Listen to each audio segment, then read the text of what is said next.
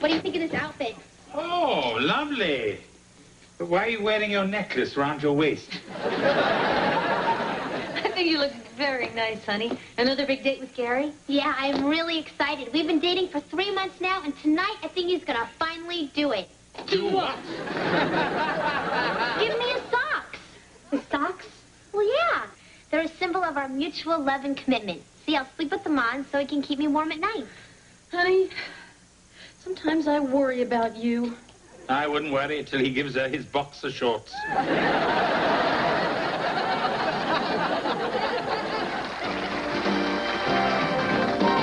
I thought the news was on. We're watching Brainbusters. Not another insipid game show. But this one's unique. They put kids and adults on the same team. Yeah, and I know most of the answers. That would make it unique. Here comes the lightning round. All right, guys, I'm going to whip you now. Good luck to our contestants. First question. Who won the 1984 World Series? Tigers! Who wrote The Last of the Mohicans? James Fenimore Cooper. What was the name of the dog in The Thin Man? Asta! What is the scientific name for aspirin? White pills! Acetylsalicylic acid. That was my next guess. Boy, Dad, if you and I went on this show, we could really clean up. Ah, I don't know, Wes. This week's grand champions and Brainbusters will receive a prize package including a cordless telephone, a laptop computer, a CD player, a digital keyboard, and a Lamborghini. On the other hand... I'm uh, way ahead of you, Dad. I applied last week. All right. Boy, wouldn't it be great? Wesley T. Owens making his TV debut on Brainbusters. Funny. I always thought it would be on America's Most Wanted.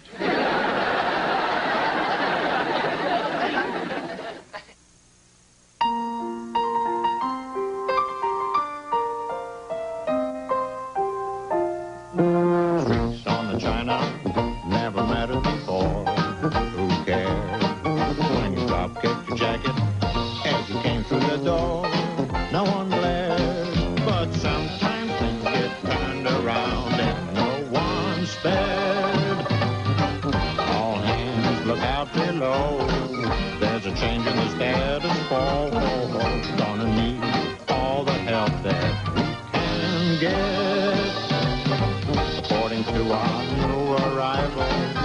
life is more than mere survival. We just might live the good life yet.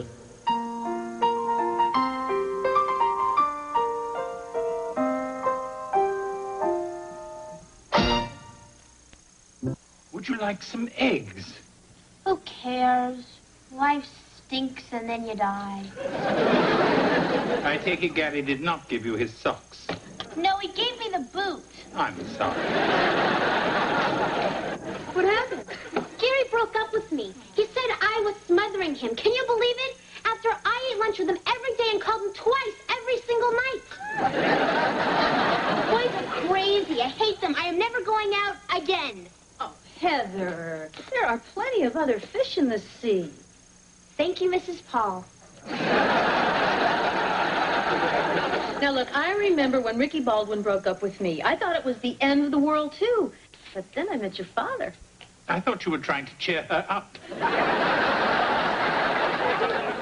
Hey, big guy. Hello, George. Ah. Junk, junk, junk. Bill. One here for you, pal. A subpoena? I don't believe it. They want us to try out for Brainbusters this Friday. You're kidding. This is radical. We're going to be a team. Mm, Tweedledee and Tweedledum.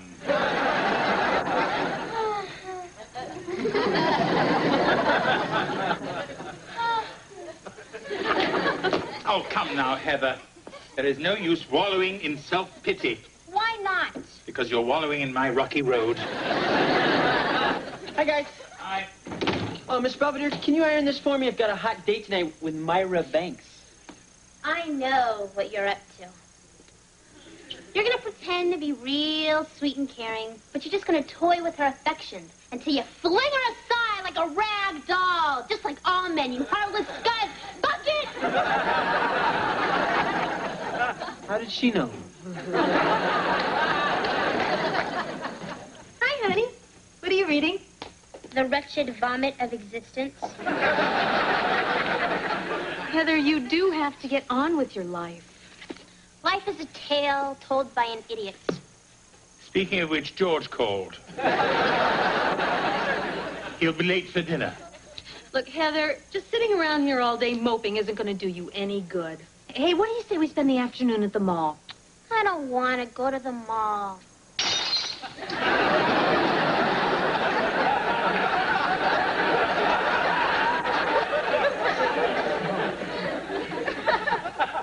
Sorry, I was startled by something. Heather, get up. Now, we are going to the mall. I'm going to buy you something frivolous and expensive, and you are going to like it. Why don't you just make me walk over hot coals? Move! Off to your tryout? Yep. George, don't you think you should wash your hands before you leave? What? Your hands are all blue. Uh, it's a uh, skin condition.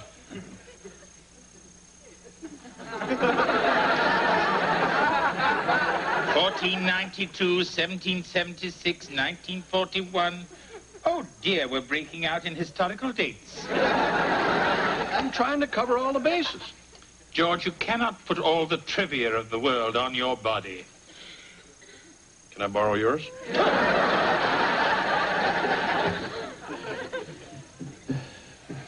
It's okay to be a little nervous.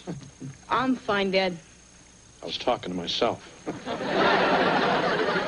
So I see we have our would-be brainbusters already in place. You know who I am. Who? Tony Hopper, Dad, the host. Oh, right. Ah, didn't recognize you in this light. No problemo. we asked you here to test how you respond to the game situation. Now, don't lean into your mic. Speak up, project, and hey, be yourselves, huh? Got it, Tone. yeah.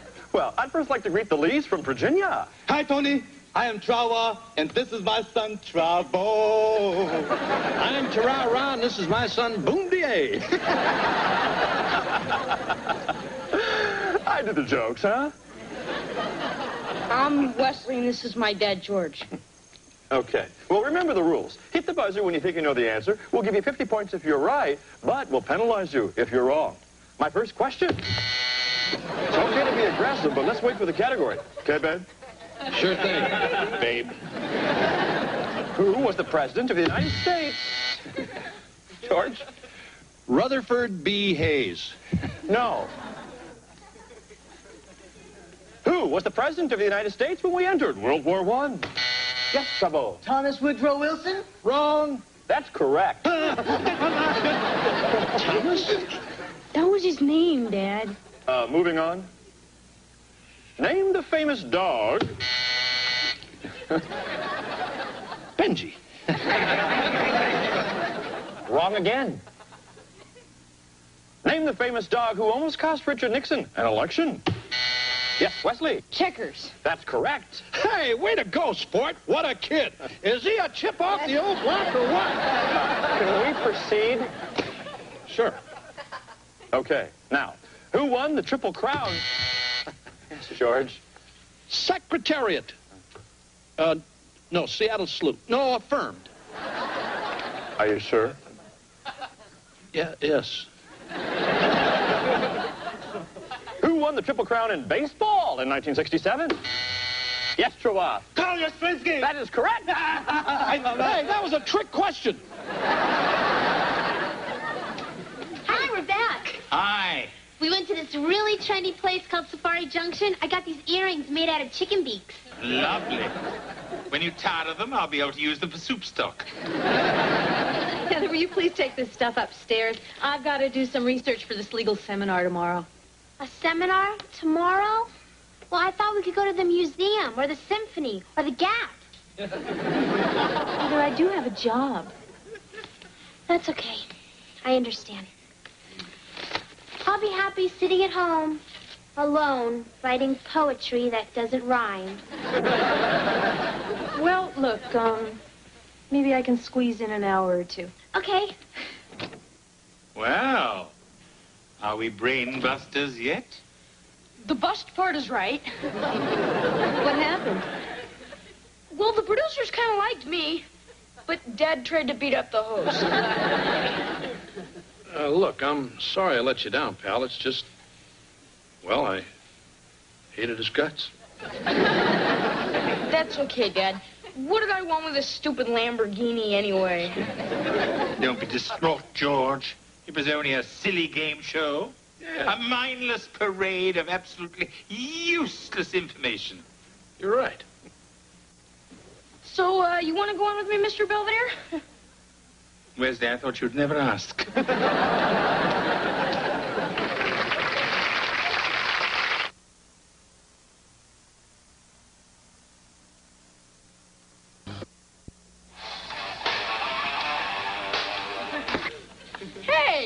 You should be studying the almanac. I'm taking a break. I've been at it all day. Wesley, if you are going to be my partner on Brainbusters, you must be prepared. Now, I want you to memorize the state capitals. I know the state capitals. In Hebrew, I, I brought these from the library like you asked. thank you, Kevin. Will and Ariel Durant's Story of Civilization. I have the Encyclopedia Britannica in the trunk. Are you trying to kill me? A tempting thought, but I think we should wait until after the game show.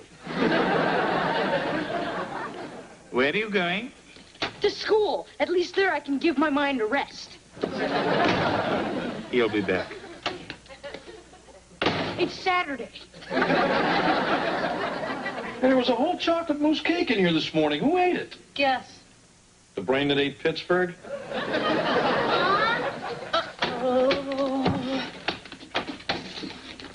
Mom?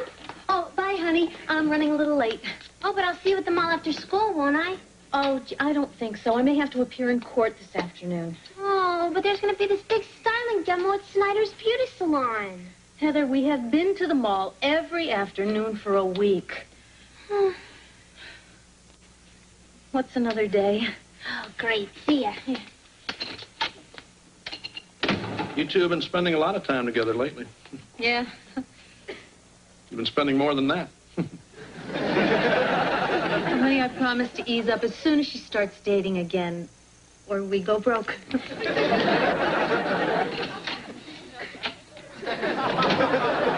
What three-dimensional figure has 12 sides? A dodecahedron. Where was the Ouija board invented? Baltimore. How high is a volleyball net? Seven feet eleven and five eighths inches, Mr. Belvedere. This is boring. Perhaps we should have a little fun. Let's recite the periodic table of elements. Oh, can we? Now, I always find the best way to memorize a complex list is to set it to music. Hum. Hydrogen and helium, lithium, beryllium, boron, carbon, nitrogen, oxygen, fluorine. Excuse me, I'm going to move in with the Huffnagels. Hydrogen and helium, lithium. Oh, Wes. Am I glad to see you? You are? No, not really. No, honey, I, I just mean that it's a relief to see anyone other than Heather. Yeah, she has that effect on me, too. I don't know. All I wanted to do was help her out with her boy problems. Now I've created a monster. At least you're not stuck with Britannica fats. Last night I was in the bathroom. He slipped me a copy of Who's Who in Albania under the door with a note saying he'd be giving me a quiz when I came out. Well, honey, sooner or later they will return to their normal selves. And until then, we're just going to have to try to be patient and understanding. Yeah, I guess so. Mom? Wesley! In the meantime, head for the hills. I just took the trash out again. It's supposed to be Wes's job. Wesley is otherwise engaged. Big guy, aren't you driving him a little hard? I mean, a brain can only absorb so much information, and then it, well, could short circuit. You ought to know. All I'm saying is Wes is just a kid. A kid with a mission. Huh? Only once in his life can he strive to become grand champion brainbuster. His moment has arrived, and so has mine. Together, we shall ride the road to fame and glory. You ate that mousse cake, didn't you?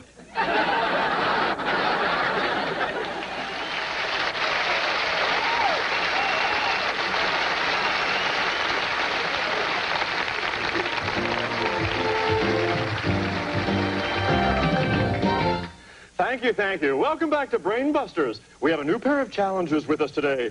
Wesley Owens, tell us about yourself. I'm 13 years old and I'm in the eighth grade at Beaver Falls Junior High. That's great. That's just great. Let's hear it for Wes. Wes's partner is Lynn Belvedere. Tell us about yourself, Lynn. Well, Tony. I was valet to Winston Churchill, a confidant to Gandhi, and a housekeeper to Her Majesty Queen Elizabeth II. Couldn't hold a job, huh, pal? well, enough chit chat.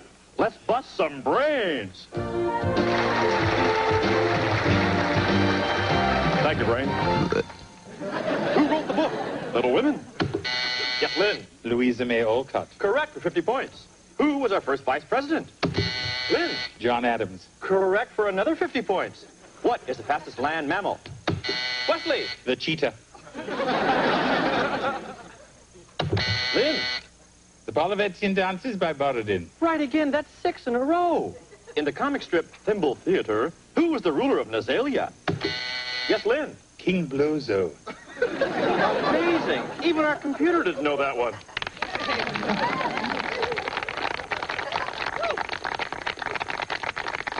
That makes the score Belvedere and what's his name? 2,000. The Lees have 300. We'll be right back after these important messages.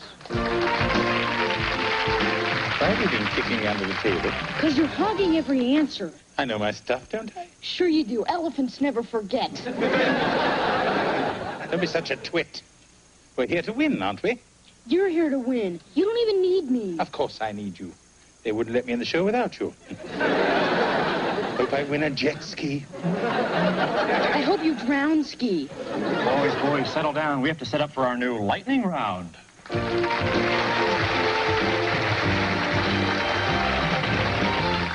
Hey, hey, hey, welcome back to Brainbusters and our all-new super goopy lightning round. Our adults will now move to their penalty chairs. Super goopy? And why are they strapping Mr. Belvedere down? Nobody told me about this. Let me clear it up for you, Lynn. You see, in this round, only the junior partner gets to answer.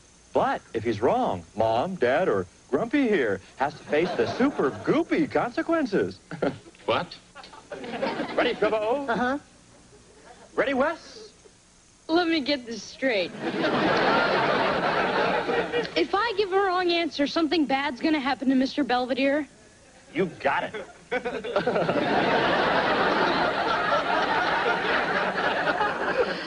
I'm ready. Let's begin.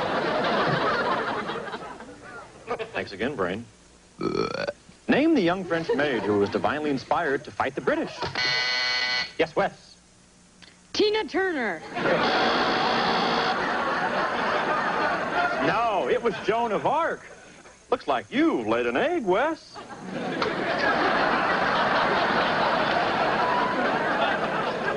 Let's try again. What was the name of the group whose members were John, Paul, George, and Ringo? Yes, Wes. The Supreme Court. No, we were thinking of the Beatles.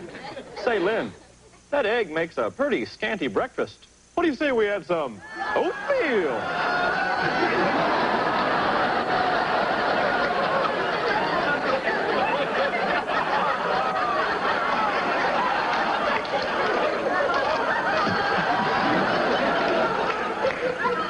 Why? Why is this happening to me? Why not? Moving on. What was the nationality of the 17th century painter Rembrandt? Yes, Wes. Now, I think he was Dutch. Or else he came from Cleveland. Yeah, yeah, Cleveland. No, he was Dutch. You remember the Dutch, don't you? Famous for their cheese, their tulips. They're chocolate?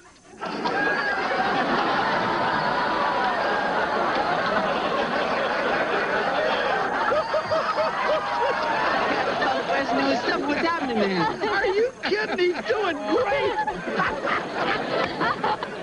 Wesley, you are doing this on purpose. Oh, next question.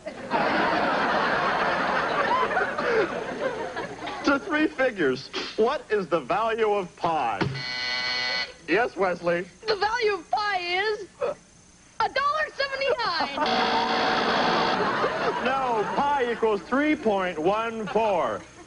But speaking of pi... Oh, no! Oh,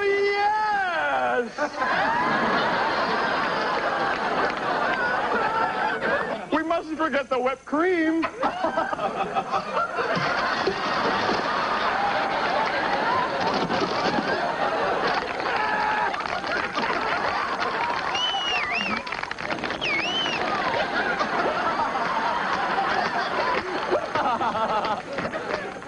Mom. You seen Heather? Where?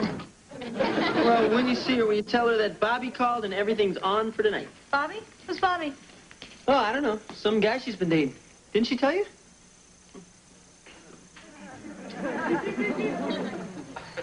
Heather!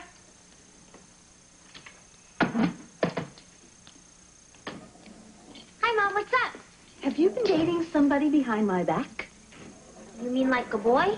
No, a wombat. Yes, of course, a boy. Well, yeah, sorta. But what about Gary? What about your depression? What about my credit card bills? Mom, if you want, I'll take all those clothes back. What? I don't care about the clothes. And why did we spend so much time shopping? It's just it gave me a chance to be with you. You know, just the two of us. I mean, I'm gonna be going to college soon, and and we may not have time like this again. And I guess I just didn't want to see it end. Come here, you. I will always be your mom. Whenever you need me. I'm glad. And I got to admit, I do look pretty hot in this jumpsuit. Yeah, I look pretty good in mine, too. Hey, I have an idea. How about if I buy you something? Okay. What do you have in mind?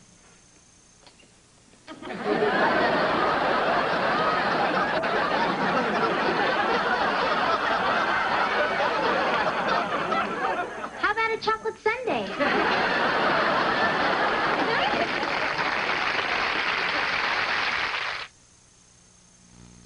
Mr. Belvedere will be right back. Despite my humiliation, the events on Brainbusters turned out all right. I displayed my breadth of knowledge to the world. However, I was rather sorry to lose that jet ski. Mr. Belvedere, Yes, Wesley? are you still mad at me? Certainly not. Can I come in? By all means.